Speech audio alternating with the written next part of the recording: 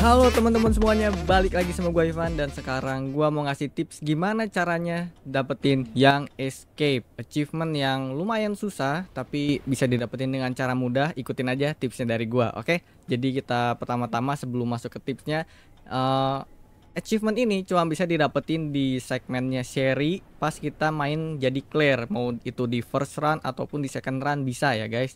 Nah pertama-tama yang harus kita lakuin adalah ambil dulu boneka yang di belakang terus langsung dibuka aja biar dapetin kubusnya buat ngelanjutin puzzle yang ada di depan. Habis itu kita langsung ke sini.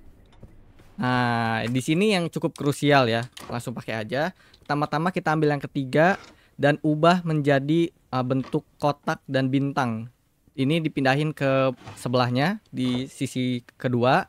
Terus ambil lagi yang ketiga, pindahin ini menjadi bulat dan kotak dan ini pindahin ke sisi pertama guys habis itu yang kedua ini pindahin ke tempat ketiga dan ubah menjadi bintang dan kotak ya guys ya terus yang keempat tinggal dicocokin aja ini tinggal pencet tanda panah ke atas satu kali dua kali tiga kali oke sudah jadi dan kita dapat gunting di sini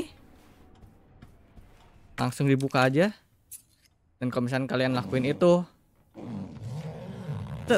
60 detik. Ini bakal kurang dari 60 detik dan pas uh, si apa namanya? Kardusnya ini kebuka, kalian akan mendapatkan achievement yang kalau misalkan belum dapat ya tinggal maju aja guys ya ke depan sini gitu. Dan selamat kalian sudah mendapatkan achievement yang escape di segmennya Sherry. Ini cuma sampai sini aja guys, cukup.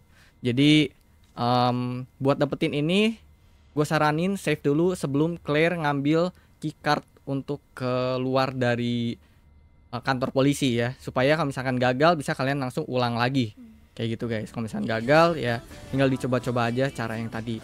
Kalau misalnya kalian suka tips-tips kayak gini bisa langsung like aja videonya dan share ke teman kalian yang butuh. Kalau misalnya gak suka bisa di dislike aja. Sampai ketemu lagi di video berikutnya. Bye bye